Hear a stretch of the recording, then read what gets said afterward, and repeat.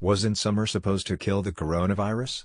To view the full article, click the first link in the description below. When the coronavirus pandemic first reached the U.S. earlier this year, some infectious disease experts were hopeful that COVID-19 would possibly disappear by summer, acting similarly to the seasonal flu which typically dissipates as the weather warms. Even President Trump initially expressed optimism that warmer weather could do away with the virus. But COVID-19 is not the flu. As July nears, cases of the novel virus are surging in states across the country, with health officials warning the only way to curb the spread of infection at least until there is a vaccine is to adhere to the expert recommend safety tips, such as social distancing and wearing a face mask. Do you have coronavirus caution fatigue? Evidence thus far suggests that the virus that causes COVID-19 can be transmitted in all types of weather. Dr. William Schaffner, a medical professor at Vanderbilt University and medical director of the National Foundation for Infectious Diseases, NFID, told Fox News via email.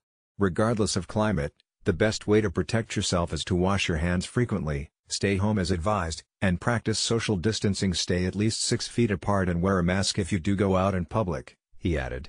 Dr. John Whyte, the chief medical officer of the healthcare website WebMD, also expressed doubt that summer weather would do away with the novel virus.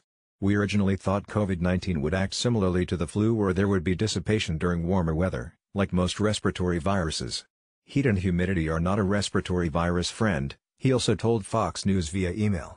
However, we started to be skeptical of the flu comparison when we saw many cases in regions of the world that were warm-slash-hot in March and April, such as India, Australia, and Iran, to name a few. There are a few reasons why we are likely still seeing a lot of cases. It simply may not be as affected by temperature as.